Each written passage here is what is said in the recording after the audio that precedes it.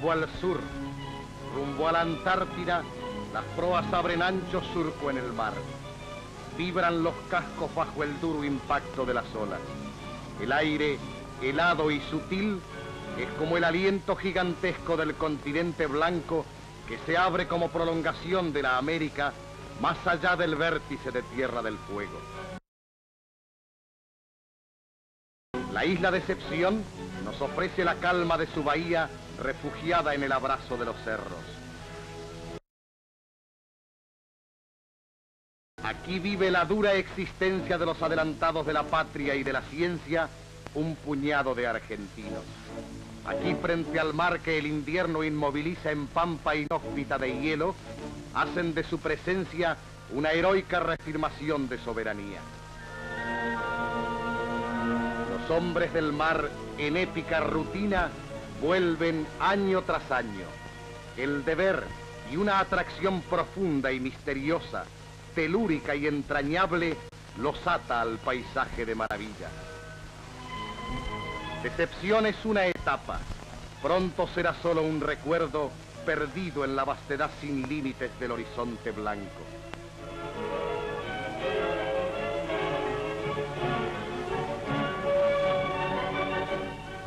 El sur, esfinge de hielo, nos lleva hacia su misterio.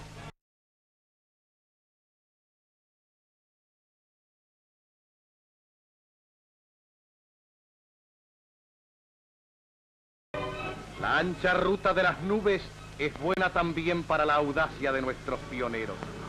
Por los caminos del cielo se busca y se halla la realidad de la Antártida Argentina.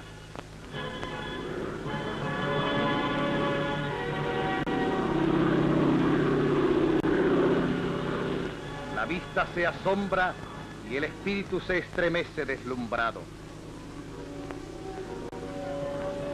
Se siente omnipotente y ubicua la presencia de Dios.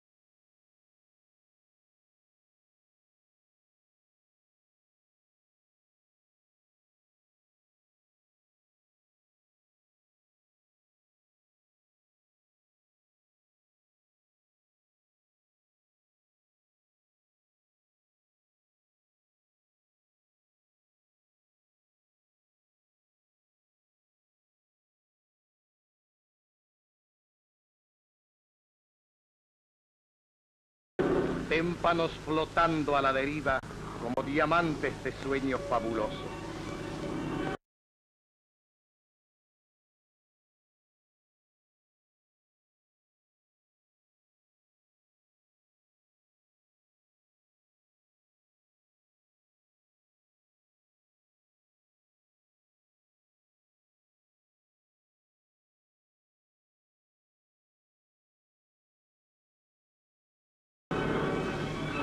Campos de hielo que tienden sobre el mar el armiño glacial de su blancura.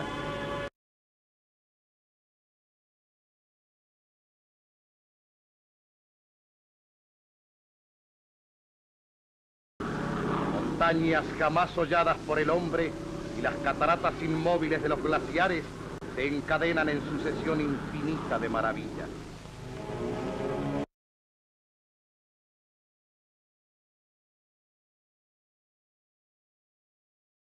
El archipiélago de Melchior se hace realidad surgiendo del laberinto de las cartas marinas. Sobre la punta de lanza de una península escarpada, el destacamento naval.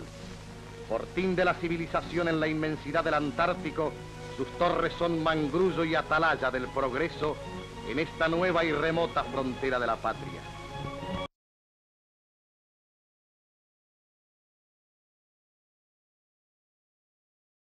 No todo es silencio en el paisaje inerte. También triunfa la vida en el panorama antártico.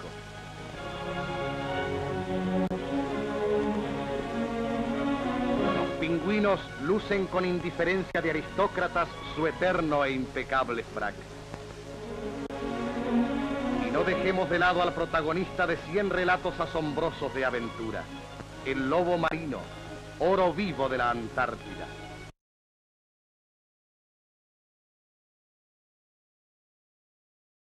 El horizonte es una permanente caja de sorpresas. Siempre hay un nuevo canal ante las proas.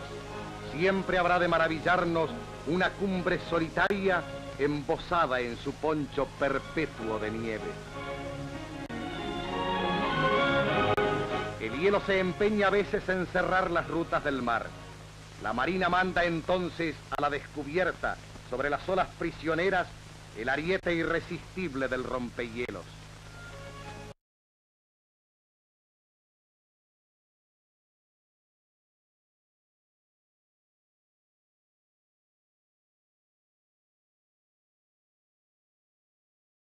Arando poderoso la dura coraza glacial, el navío abre el paso necesario. Es una lucha recatada de potencia. Las fuerzas sin límites de la naturaleza frente al ingenio y la voluntad intrépida del hombre.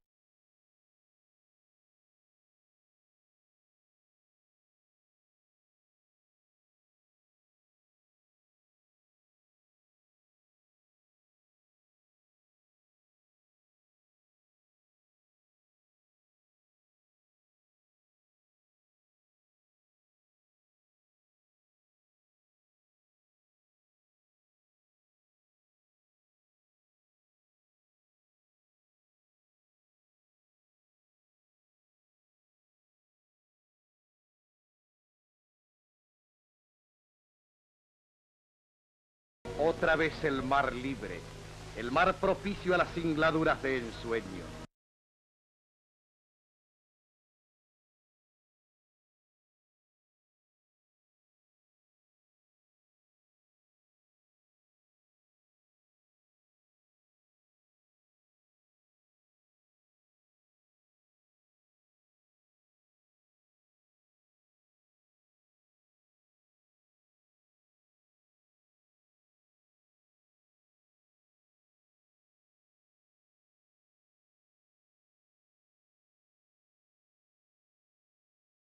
El periplo está cumplido. Las proas apuntan ahora al norte, al hogar lejano en la distancia, cercano siempre en la hondura del sentimiento.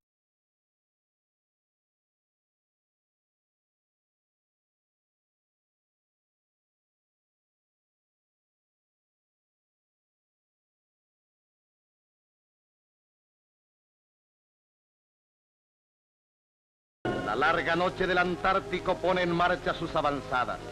Los navíos regresan. Atrás queda vasta heredad nuestra. Tierra y mares descubiertos bajo el signo del heroísmo y la tragedia. Tierra y mares para varones fuertes, capaces de sentir frente a su infinita grandeza la presencia omnipotente del Creador.